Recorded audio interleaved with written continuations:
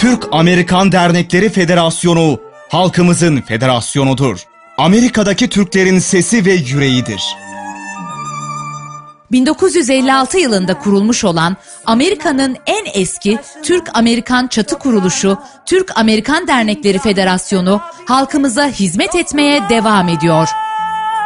Her köşesi cennetin ezilir yanlar için. Ne mutlu Türk'üm diyene. Ücretsiz 24 saat telefon hattı 1888 352 98 86 la